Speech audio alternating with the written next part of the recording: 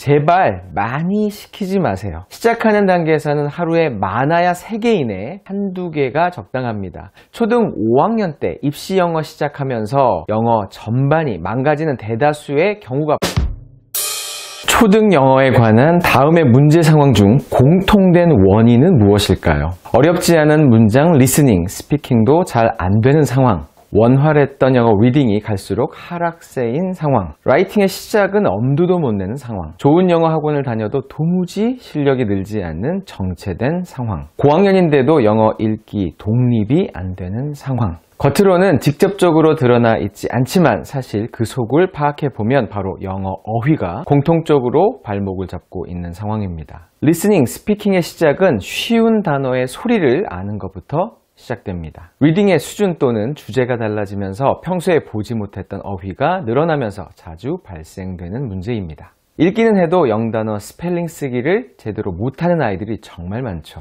좋은 수업을 소화하려면 어휘력부터 받침이 되어야 하는데 문제는 가장 중요한 영단어 공부는 대부분 숙제라는 점입니다. 스스로 영어 지문을 읽지 못하는 아이들은 단어를 못 읽는 아이들입니다. 아이 영어 부진에 대한 원인 분석부터 잘못되면 그 처방은 당연히 틀릴 수밖에 없습니다. 위 분석에 더해서 초등, 중등을 모두 겪고 고등학생이 된 아이들은 영어가 힘든 진짜 이유를 이렇게 이야기합니다.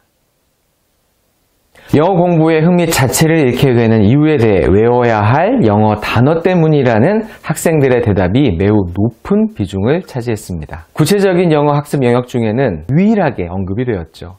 이외 대답이 수업 내용을 이해 못하거나 문제를 풀 수 없다는 것도 사실 영어 단어와 깊은 연관이 있기 때문에 영단어 학습 문제가 영어 공부에 흥미를 상실하게 만드는 가장 핵심적인 요인인 것입니다. 그러다 보니 고등학생이 직접 뽑은 영어에 가장 큰 도움이 되는 학습 방법의 1위로 영단어 암기법이 언급된 것은 당연한 결과겠죠. 수능이 어려운 이유도 수능 준비에 필요한 학습도 어휘를 압도적으로 꼽고 있습니다. 그런데 현실에서의 초등 영단어 교육은 reading 많이 하면 저절로 습득되는 부차적인 학습으로 취급되거나 테스트용 숙제일 뿐이거나 못하면 의지가 부족해서 라는 이야기를 듣는 아이가 알아서 해야 하는 영역 아마 이 셋 중에 하나로 인식되고 있습니다. 오늘부터 영단어가 문제다 라는 생각부터 크게 가져주세요. 모든 문제점 그리고 해결책은 결국 영단어를 극복하지 않고서는 시작도 할 수 없으니까요. 이에 관한 솔루션을 군더더기 없이 말씀해 드리겠습니다. 첫째, 영단어는 절대 노출로만 습득되지 않습니다. 리딩을 아무리 많이 해도 언젠가는 한계에 도달하게 되어 있습니다.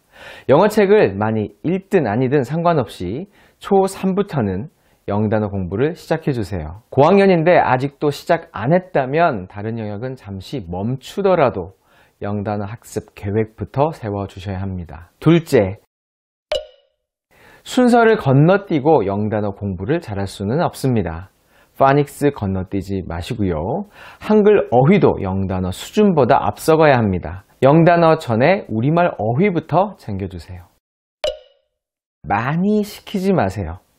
시작하는 단계에서는 하루에 많아야 3개 이내 한두 개가 적당합니다. 능숙한 6학년이라도 하루에 많아야 15개 이내, 보통은 10개 정도면 충분합니다.